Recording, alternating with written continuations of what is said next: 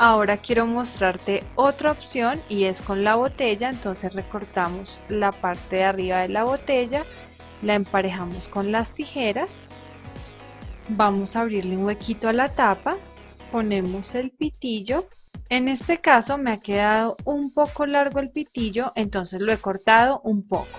Y listo, mira qué fácil es hacer estos juguetes caseros para que los niños practiquen el soplo en casa. Aquí los niños deben soplar e intentar mantener la pelota en el aire.